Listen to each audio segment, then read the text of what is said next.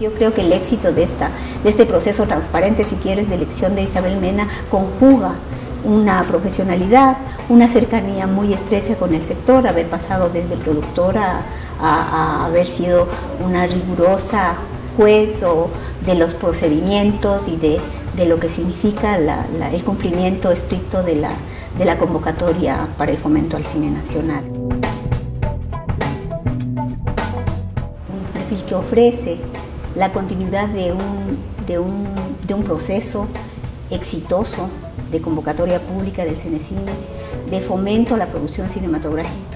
cinematográfica, pero que además no es solo la percepción de lo que significa en este momento el Cenecine, sino la proyección de lo que significará un Cenecine eh, aportando a la cultura cinematográfica del país.